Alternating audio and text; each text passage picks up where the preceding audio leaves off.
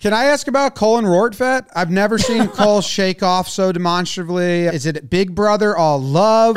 Obviously, he's still pitching to him. He's chasing a Cy Young, and he and he's a perfectionist. Like we know, Cole is hard on catchers. My heart goes out to Benny a little bit because he's all over him at all times. Gerrit's all over all of us at all times. He's all in, man, every day. I love it, man. Competes, man, wants it. He expects a lot from all those around him. Benny, you got to be able to match it. Trevi matches it, and now Ben he wears it, but he can he can give it back too, and that's important. So His Hey, shakes are so It's theatrical. yeah, his shakes are so emphatic that I think the batters think they're fake shakes. I think Cole, Cole doesn't even realize that the batters might be thinking he's giving like fake head shakes, but they're they're not. They're because you can see Ben he's scrambling on his knee like, oh fuck, shit, okay, this one, this one, and then, uh, but they're just like, no, no. yeah,